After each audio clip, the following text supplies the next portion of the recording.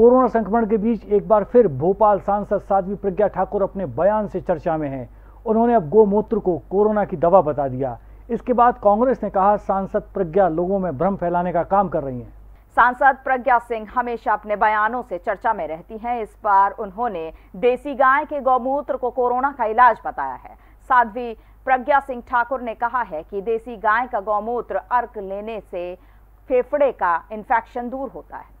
वे स्वयं भी देसी गाय के मूत्र का अर्क लेती हैं, जिससे उन्हें कभी कोरोना नहीं हुआ। बता दें कि सांसद साध्वी, प्रज्ञा सिंह ठाकुर, बैरागढ़ में ऑक्सीजन कंस्ट्रक्टर के पूजन समारोह में पहुँची थी, जहाँ उन्होंने कहा कि सभी लोगों को देसी गाय पालना चाहिए। हमें जीवन दे, हमने उसको जीवन दिया है, हम थोड़ा सा देते हैं, वो कई गुना देता है।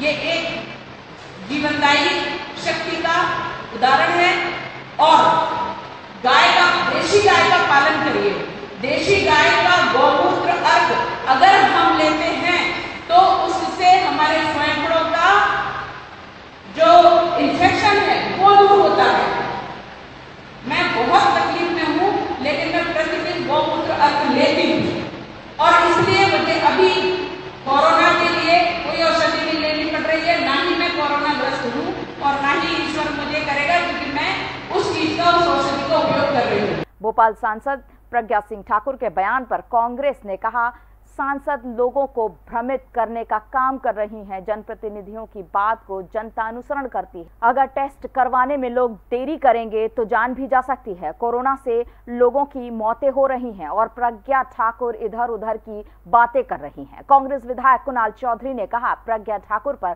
प्रकरण दर्ज किया जाए या इसे हॉस्पिटल में लागू किया जाए। सरकार अपनी मंशा स्पष्ट करे। सरकार अब अफवाह फैलाने वालों पर कार्रवाई की बात कह रही है। क्या ऐसे लोगों पर कार्रवाई होगी?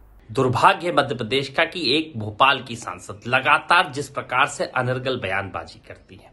आज फिर उन्होंने बयान दिया है कि कहीं ना कहीं गौमूत्र पीने के कारण उन्हें कोरोना नहीं होता। आप सांसद है, आपको देख के कई लोग फॉलो करते हैं। और कई लोग इस कारण से जनता लेट होती है और उसके कारण मौतें होती है।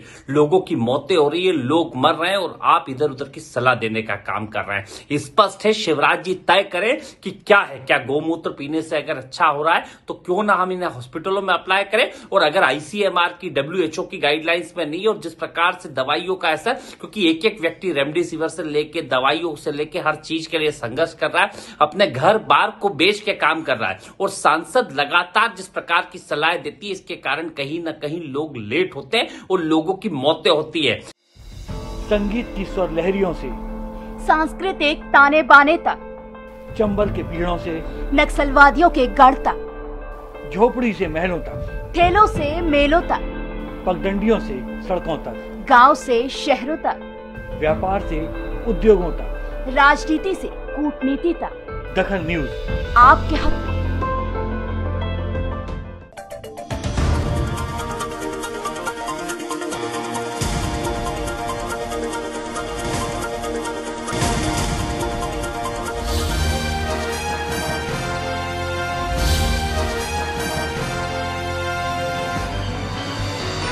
आप देख रहे हैं दखल न्यूज़।